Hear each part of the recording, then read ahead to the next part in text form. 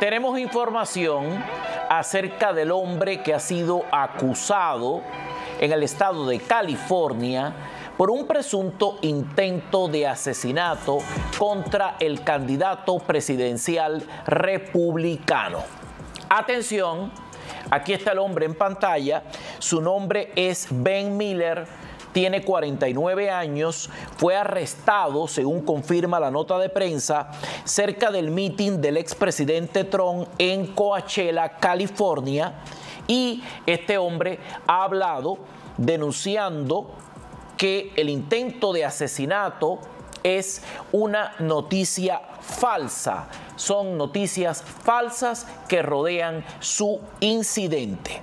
Dice la nota de prensa que Miller, que se hacía llamar un partidario acérrimo de Trump, fue detenido después de que los ayudantes del sheriff del condado Riverside encontraran armas de fuego en su vehículo durante una parada de control de rutina. Sin embargo, este hombre ha negado ferozmente cualquier intención de dañar al expresidente de los Estados Unidos. El arresto de Miller se produjo después de que las fuerzas del orden encontraran una escopeta, una pistola y un cargador de alta capacidad en su vehículo, junto con lo que las autoridades afirmaron inicialmente que eran elementos falsos, tenía credenciales como que era un VIP y pases de prensa para el meeting del candidato Trump. La nota de prensa agrega que Ben Miller, de 49 años, fue puesto en libertad bajo fianza. La fianza fue de 5 mil dólares y ahora se enfrenta a cargos de delito menor por posesión de armas de fuego de manera ilegal. A pesar de estos cargos, Miller insiste en que el incidente ha sido desproporcionado, afirma que su posesión de armas de fuego era puramente legal y registrada y que simplemente estaba ejerciendo sus derechos de la segunda enmienda. Miller afirma que había sido invitado al meeting y que tenía pases de entrada especiales legítimos emitidos por el Partido Republicano de Nevada. Cuando se revisó la cuenta de Instagram de Ben Miller, se reveló que incluso estuvo en la Convención Nacional Republicana y que asistió a otros eventos a favor del candidato Trump.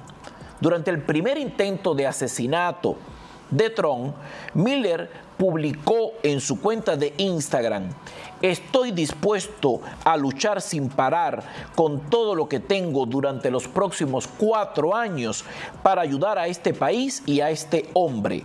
Necesitamos romper todo lo que le esté haciendo daño. Sin embargo, los informes oficiales del sheriff y del condado de Riverside pintaron una imagen de una amenaza potencial contra el expresidente.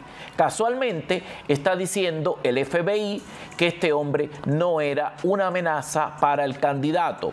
Está diciendo el servicio secreto que descartan que este hombre haya estado preparando un atentado contra el candidato republicano en California. Quiero que veamos juntos el círculo de personas con las que ha compartido recientemente el presunto homicida, este hombre, Ben Miller.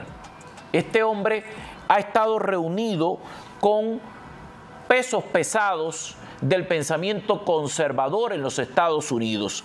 Hay fotos de Ben Miller con James O'Keefe, el creador del grupo Veritas, que ahora es el creador de O'Keefe Media Group, un medio que se dedica a investigar historias en contra del establishment de los Estados Unidos. Han sido fuertes aliados del pensamiento conservador en los últimos años. Se han dedicado a poner denuncias contra la administración Biden-Harris y O'Keefe Media Group ya hemos descubierto, hemos contado en este programa, donde hemos presentado buenas partes de sus historias, se ha dedicado esencialmente a hacer un periodismo de investigación que no se ajusta a los medios más tradicionales, pero que han ofrecido resultados fuertes sobre estados de opinión y posturas de funcionarios del establishment demócrata en los Estados Unidos. Ahí está la foto de Ben Miller con James O'Keefe dando testimonio de que han coincidido en eventos de corte republicano. También hay fotos de él con Kennedy Jr., donde como parte de eventos de campaña. Ahí tienen la foto. Si se fijan, en esta foto tiene la misma ropa que en la anterior o es una apreciación mía. Está vestido igualmente. El look es idéntico a cuando se reunió con James O'Keefe. Ponme la foto anterior a esta para ver si el elemento que estoy aportando es real. Gracias es real. Ahí lo tienen. Esto ocurrió en el mismo momento, muy probablemente en el mismo evento donde coincidió con esta gente. Tengo una tercera foto de él posando con Vivek Ramaswamy, que es otro de los pesos pesados del Partido Republicano en este momento. Esto es en otro entorno, evidentemente. Este hombre Ben Miller intentó incluso correr para un cargo local hace dos años en su estado de Nevada. Aquí lo vemos con Vivek Ramaswamy. ¿Ok? Perfecto. Y así tiene un grupo de fotos de publicaciones que dan al traste con su perfil como republicano practicante según consta hasta este momento por qué este hombre estaba con este arsenal de armamento, por qué este hombre, sin importar si es demócrata o republicano, estaba manejando un carro sin registración por qué este hombre se había sido invitado por el Partido Republicano con una coordinación con el estado de Nevada, este hombre que asistió incluso a la Convención Nacional Republicana, se está presentando en este evento con una credencial VIP falsa. ¿Por qué este hombre tenía este nivel de armamento en su vehículo? ¿Por qué anda con una licencia vencida? ¿Qué es este hombre? Un loco, bueno, gente enloquecida hay en todos los partidos del mundo, en todas las denominaciones y en todas las familias. Hay que determinarlo bajo ningún concepto le vamos a quitar mérito a la gestión del sheriff del condado de Riverside por haber hecho esta detención. Por sí o por no fue la medida correcta y adecuada. Yo pienso que es importante tener en cuenta todos estos elementos. Este hombre que disfruta evidentemente de la atención mediática, de la fama, de la popularidad, de ser seguido sin importar el asunto del que se trata, ha aparecido haciendo su propio relato de los hechos. Ha roto el silencio y lo ha hecho en sus propias plataformas. Vamos a ver qué es lo que él dice. Evidencia. And probably the reason that God put me in that situation in order to be able to expose really what's going on. And so every time I've gone to a Nevada rally and notified the police, it's been a non-issue. They've thanked me for the courtesy of notifying them. They've said, obviously, you can't take your firearms. I wouldn't even think of doing such a stupid thing. Um, and they've been fine. They've been fine. And the critical mistake I made is, I guess, forgetting the location that I was in, that I was in California. So I drive up with my special entry pass, and by the way, they're saying I had a counterfeit pass. That's a bunch of nonsense. I could prove that I had a special entry pass directed to me, sent directly to me by officials within the Republican Party of Nevada. I was an actual invitee to that event. So, as I'm driving, there's an area where you enter the parking lot after you pass a sheriff. I pull up to the sheriff. I say, you know, well, I, actually, I should take that back. I'm not 100% sure he was a sheriff. He was wearing a sheriff vest but a lot of those individuals were. And my assumption is that not everybody there was a sheriff. They were just trying to indicate that they work with the sheriff's department. And so I drive up to this uh, sheriff and I tell him that, um, you know, in full transparency, I just want to let you know in the back of my truck, I got, you know, two lawful firearms, purchased lawfully, registered lawfully. And I'm just letting you know that that's back there as a courtesy, which is a courtesy that I always do. That police officer asks me to pull over. So I pull over, and just so everybody's clear out there, it's not like they found that I had firearms or did an investigation, blah, blah, blah. No. The body cams and the evidence will expose and reveal that I myself drove up to the sheriff and gave him the common courtesy and respect of letting him know about the firearms I had in the back of my truck. O sea, él cree que el gran error que cometió fue el de acercarse a la policía olvidando que estaba en el estado de California. La impresión que transmite la ley y el orden en el estado de California es completamente distinta al de otros estados. En eso coincidimos. Él dice que su gran error fue acercarse, según él lo cuenta, él se entregó él mismo. Él mismo le dijo a la policía que traía dos armas en su carro, lo cual habría sido una gran amenaza para el evento, pero él mismo lo declaró ante la policía. Él creyó que estaba hablando con el sheriff, Ahora se percata mientras hace el relato que estaba hablando con personas que estaban identificados con la palabra sheriff, lo cual no significa que todos sean el sheriff. Significa que son personas que están bajo las órdenes del sheriff en ese condado. ¿Qué más dice?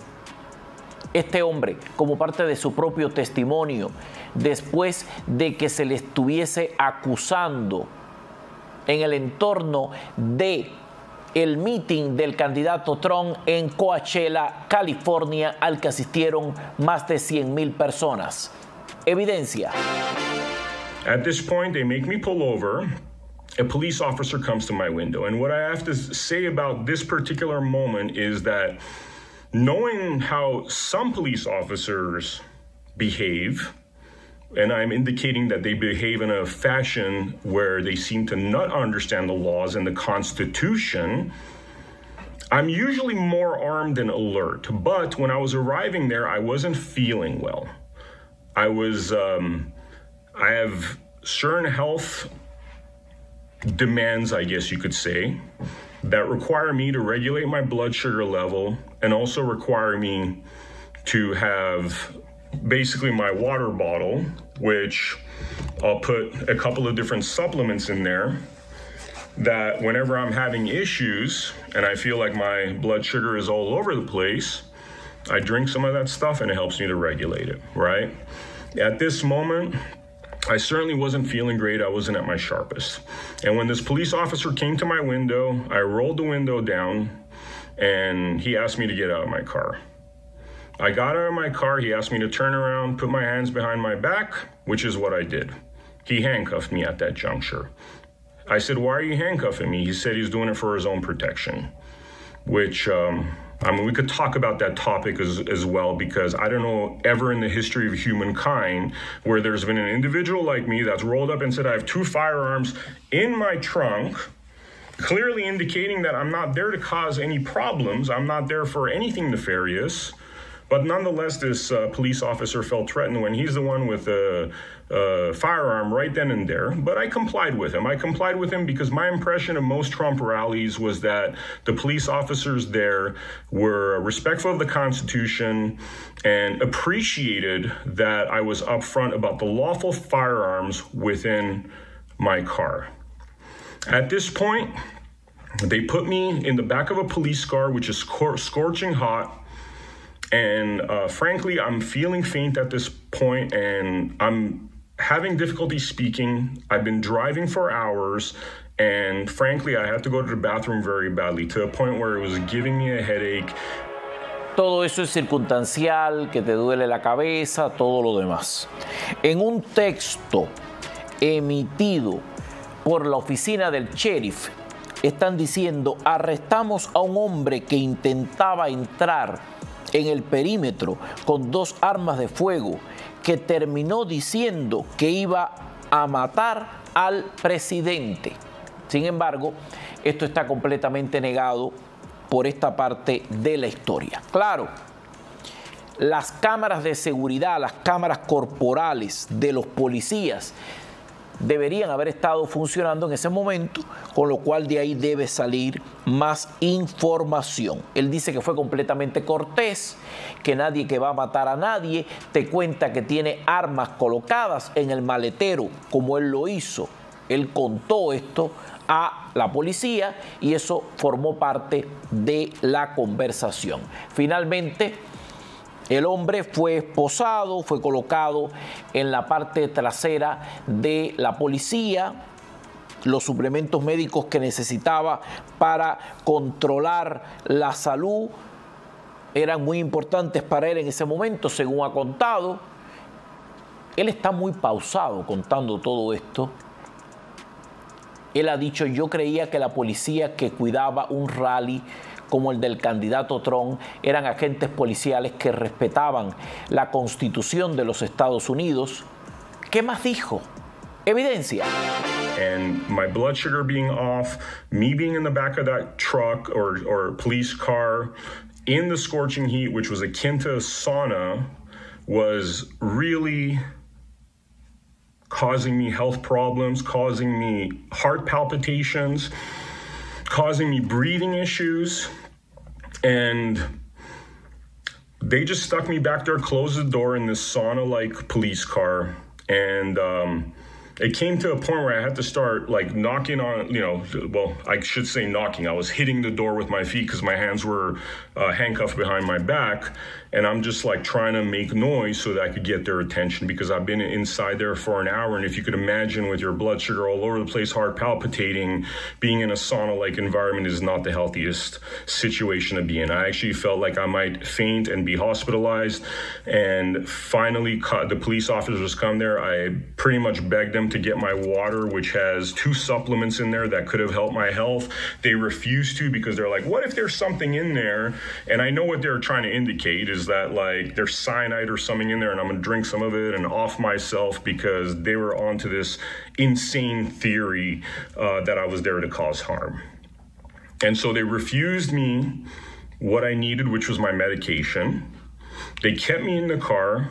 They did turn on the AC after what was hour i don't even know at this and it's and it's hard for me to know the exact time it could have been an hour it could have been an hour and a half of this torturous experience, I don't know because frankly, I was too lightheaded and I was almost fainting. When I explained to them what was going on, they said, We could take you to the hospital. I'm like, Rather than take me to the hospital, what, what if you just get me my water? And they refused to do so. And they gave me, one of the police officers put water in front of my mouth and poured it in there and stuff. Um, eventually, they did give me my water bottle, um, but that was hours later. Este hombre, Miller, cree que el frenesí de los medios en torno al arresto es parte de un esfuerzo más amplio para desacreditar a las voces conservadoras que apoyan al candidato republicano. Este hombre habló de toda la oportunidad que le dio a la policía, de toda la sinceridad con la que abordó todos los asuntos, para que finalmente todo quedara tan mal como lo hemos visto hasta este momento en las noticias. Roger Stone, que es un colaborador cercano al candidato Trump, ha escrito una descripción bastante completa de cómo él ve este asunto ha dicho, y cito, Ben Miller, el hombre falsamente acusado de planear asesinar al presidente Trump, no hizo amenazas contra el presidente. Las armas de fuego en su poder eran de propiedad legal y estaban encerradas en el maletero de su coche. Sus matrículas no eran ni falsas ni caducadas, no tenía pasaportes falsos y su pase para el mitin de Trump era legítimo. Este hombre no enfrenta a cargos federales y ni siquiera fue interrogado por el Servicio Secreto o el FBI. Sus matrículas eran válidas. No es miembro del movimiento de ciudadanos soberanos. Es un firme partidario de Trump el sheriff del condado de Riverside, que hace acusaciones en su contra, se enfrentará a una demanda multimillonaria. ¿Qué habrá que hacer? Habrá que esperar para entender qué es lo que aquí ha ocurrido, que la investigación continúe y que sea desacreditado quien tenga que ser desacreditado. Los eventos multitudinarios, las multitudes, y todos estos procesos políticos se prestan para muchas cosas. Este es un ejemplo típico, raro, del cual sabremos al final de qué se trata. Déjame tu opinión. ¿Qué crees tú? ¿Quería asesinar al expresidente? Este hombre es un lunático. Este hombre está limpio de polvo y paja. Todo lo que han difundido sobre él es incierto. 305 728 2021 305 728 2021. Ya vuelvo.